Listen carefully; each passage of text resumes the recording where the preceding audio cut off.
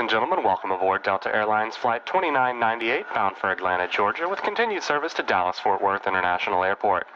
All carry on items should now be stowed securely, either in an overhead bin or under the seat in front of you. All aisles, exits, and bulkhead areas should now be clear.